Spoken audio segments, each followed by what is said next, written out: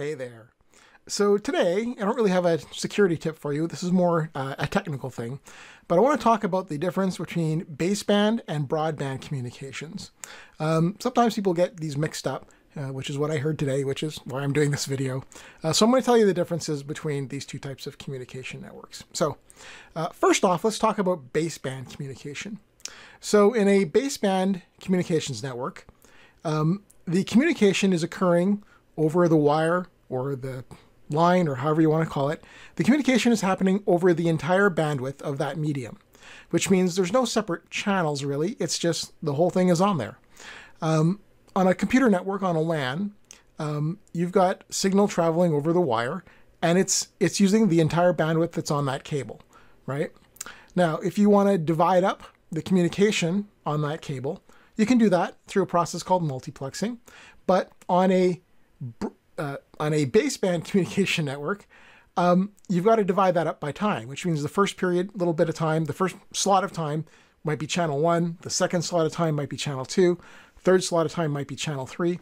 And of course, you need equipment on either end to uh, coordinate that multiplexing so that you can have these, these uh, combined signals going across your line. Uh, but the big thing for uh, baseband communication is that it's, it's typically a digital signal and that it's using the entire bandwidth of the medium. Okay, so, and, and you can remember it by thinking about your computer network, a 10 base T network, a 10G base T network, that base is baseband. That's baseband communication. Okay, now uh, the other concept is broadband communication. And uh, you probably hear about internet service providers with their broadband internet. Well, in broadband, which is usually an analog signal, um, we're not using the entire bandwidth of the medium to send our stuff. We're using certain frequencies in that medium to uh, send our information through on that network.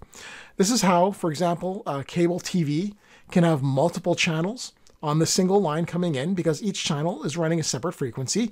And you might add internet onto that as well with your uh, cable access modem. And there, boom, you've got uh, all this different stuff happening at different frequencies, all traveling over the same line. Um, this is what uh, broadband communication is. And so, as I've just described with broadband communication, when you're dividing up the signal or multiplexing the signal, um, everything is happening in different frequency ranges, right? So, um, just like I said, you know, certain TV channels might be on a certain frequency range, another channel on a different frequency range, your internet is on a different frequency range. Um, that's how it works. And, and once again, on each end of the connection, you need some sort of equipment that's going to understand how that multiplexing is working and be able to separate out stuff. And, you know, with cable TV, it's your tuner, right? Pretty straightforward. Um, on a data network, it would be some other kind of equipment uh, that would be doing that.